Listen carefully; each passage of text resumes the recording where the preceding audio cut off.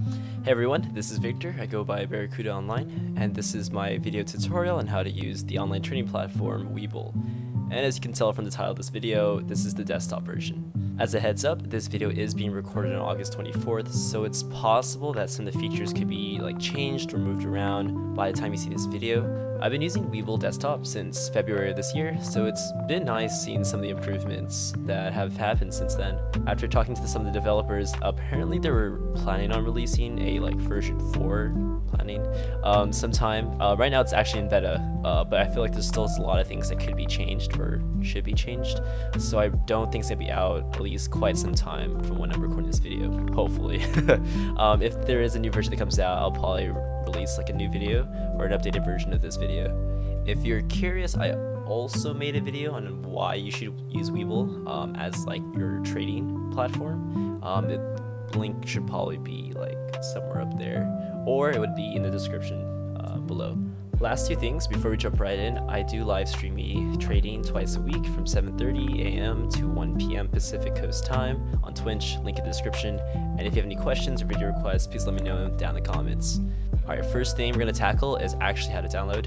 you literally just go to the website and on the top should be under download. Click download and then you're to choose which uh, operating system you have. On Windows, uh, just download Windows. And they also have the beta version available. Um, I personally wouldn't use it right now. Alright, so first look, there are nine main parts of the platform and they are settings, accounts, markets, watch lists, stocks and charts, screeners, trade, alerts, and paper trading, all nine of them. As a heads up, I did do timestamps for all the sections of the video, so they'll be in the description. The video progress bar on the bottom of the video will also be sectioned off according to the timestamps, so hope that helps. So we're gonna go start off with easy ones first, just to get them out of the way. So first we have general.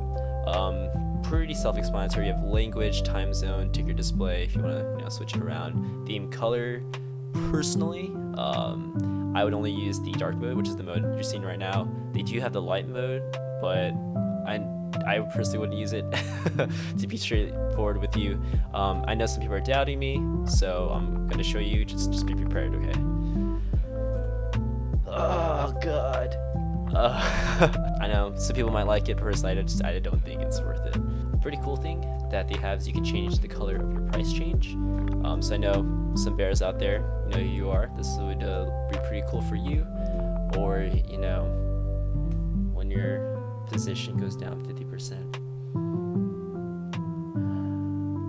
Alright, moving over to hotkeys.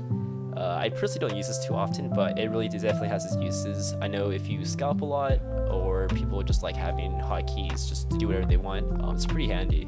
Okay, moving over to trades basically any presets you want. For the most part, I didn't change anything, but it's really awesome that you have this amount of freedom and ease of use available for you. So like for instance, if you really want stop loss order on every position make, or you want to take profit order on every position you take, you can set you know presets like percentages you want, which is actually pretty cool in my opinion. Um, top that with everything else that Webull provides, really cool.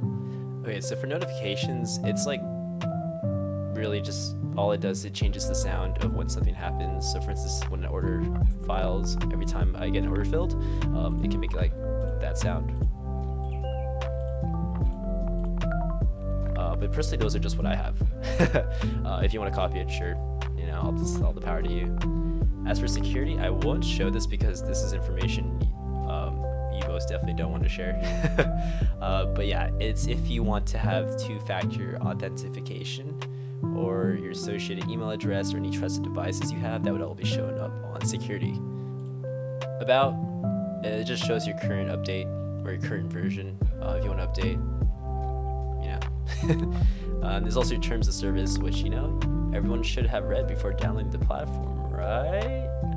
Next one I'm going to show is account, but just like security, I can't show you this. It does have personal information such as my account number, uh, my net account value, my buying power, stuff like that. It's pretty cool because it shows you your profit and loss and just more information about your current positions, like uh, what dividends you have, what how much dividends you've received, uh, your current market value of your positions, and yeah, pretty much that. Okay, and then moving over to markets. Uh, this is pretty cool. It's a nice um, thing that I think a lot of brokers have, but Webull's definitely is pretty pronounced as you can see. Uh, it shows you basically current market news and movement. Uh, it's definitely nice to see what each sector is doing. You can kind of like, you know, move around and check different things. So yeah, pretty neat thing, especially to do kind of like in the middle of the day or when you're, I guess, just analyzing the market. Uh, let's say like in after hours or something. All right, so we have watch lists. Pretty self-explanatory. Uh, just shows that your watch list that you have set up shows the symbol, the name, uh, your price, where it's currently at, after hours percentage change, um, if it's pre-market show pre-market percentage change, and yeah, it's everything that you see. It's pretty cool because you can customize it. So on the top we have tabs, so I have different tabs set up, you know, for different uh, things you can, I guess, set up. Yeah. Down here we see the news, for instance. So for this example, be Apple shows all the recent Apple news, pretty neat. On the top right here, we have edit watch lists. This is where most of the magic happens for the watch list tab. Here you can create, edit, delete, you know, watch lists that you have. Make a new watch list. I can edit them, edit the name. Right, over here is the grid view. If you want to see the charts uh, for your current watch list, pretty cool. Just like that, you can see them. And then uh, depending on how many tickers you have in your watch list, you can just go through the pages right here. Simulated holdings up here is for paper trading. So this is specifically strictly for your paper trading account, which is pretty cool. They have all these features uh, for you know for paper traders too, because I definitely think paper trading is really important, especially when you first start out. On the right side right here is completely customizable. This is my current setup. You can really change anything that you want under the widget settings on right here, and yeah, you can you know if you want some stuff, if you don't want some stuff, you just check mark the box right here. But yeah, this widget settings is where a lot of the magic happens because it really is pretty customizable because once you have everything you want, you can move them around. And you can also just scroll up and down, see what you want, you know. Okay, last thing is that on the bottom right, we do have the refresh button. Uh, basically, it's to refresh your page. Your platform should be updating like live constantly, but just in case you know things happen, you want to make sure you have a good refresh, click the button, refresh. Then we over here is, is locked for trading. So basically this means, you know, maybe you have kids or something, this would lock it, so we'd have to unlock it again. So if I click it, boom, that's what it does. So notice I can't see my positions. You know, maybe you're in a public space some for some reason and trading, or like you said, you know, you just don't want people accessing your trading platform. You click on the unlock, you're gonna edit or input your pin, and boom, right there.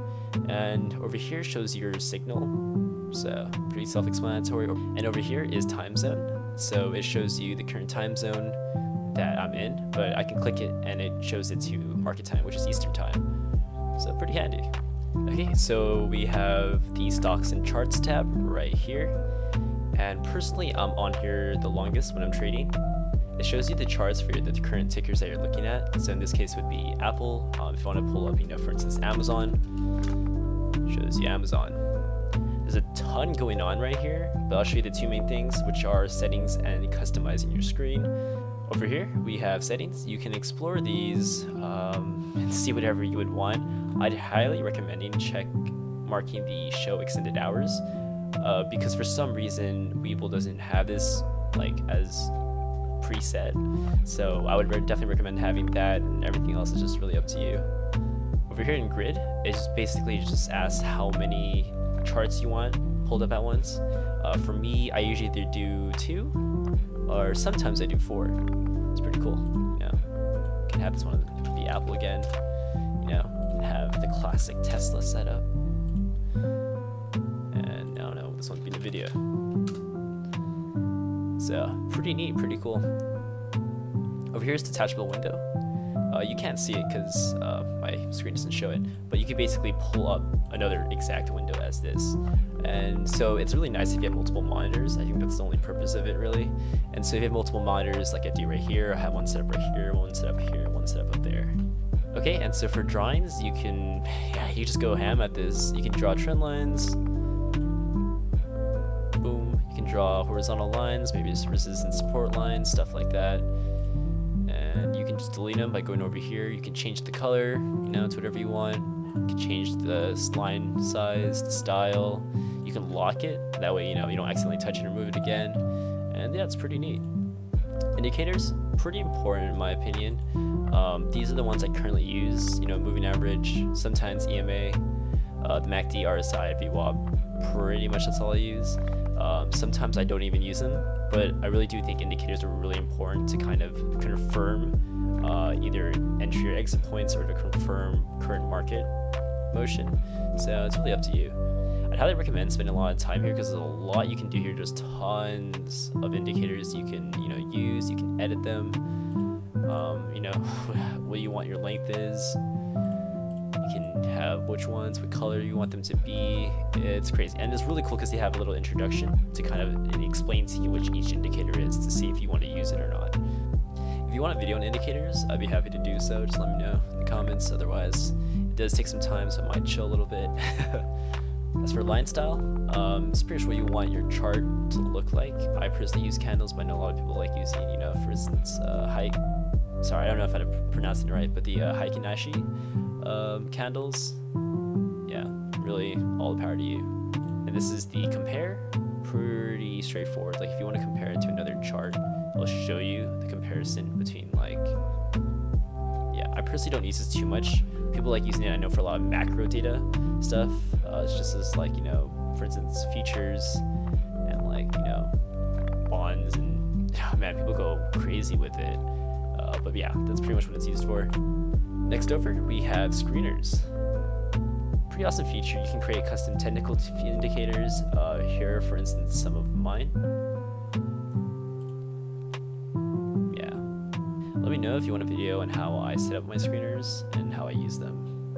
Okay, and over to trade. So this is honestly, I think, where people really gets it right um, because it's awesome because this trade tab is extremely customizable. Um, so as we're here, you have like these boards you can set up, uh, which are pretty much preset, I guess, layouts that you have. So I have like, you know, a normal one, such as like, you know, just do some normal trading. Uh, if I want to do, for instance, my two options, I kind of like, you know, if I need to trade two options or look at two options at once, um, yeah, you can go at it. Like, yeah, there's a lot of things you can do. Personally, this is my favorite just because I do trade options a lot. Um, yeah. So you could have your table over here, your trading action right here, and the chart right here, all in one screen. And you can really customize it because I'll show you, like you can move things around however you want. You can add widgets. So for instance, if I wanted, you know, let's say quotes, boom, quote right here. Wanted time and sales, time and sales right here. Want to see price ladder, price ladder right here. I can move it wherever I want. Um, I know a lot of other brokers are now starting to have like kind of like implement some of these features, but for instance, even Thinkorswim, which I also use too, it's not this flexible. Um, so this is I think where Webull really does it right, and I hope they really just further work on this because I know there's a lot of more things they can do with this feature. But yeah, trade's really cool, and I would really highly suggest you just to play around and see what kind of layout and it's really cool too because you can also make a detachable window. And for instance, if I wanted my second screen to show something completely different than my first screen or have a different layout, uh, I can do that. So it's awesome. Okay, and over here on the top right, there's the alerts. Pretty cool. Um, pretty standard, I think, within a lot of other brokers. But this is where I have alerts shown, or where alerts that are triggered are shown under feeds. And then under settings would be current, you know, alerts I have. So for instance, like let's say Apple, right? Let's I should try with Amazon right here. So I have Amazon. Okay. If I want to create an alert, I can do it two ways. I have the option right here, technically three. I have the option right here to do alert settings. You know, I have, for instance, an alert if it goes above this price. As you can tell, I haven't updated it because Amazon's been going crazy up. But let's say I want to do another alert, right? Let's say I have a position in Amazon and I really don't want to worry about it. But if it goes under 3,000, I want to be known immediately.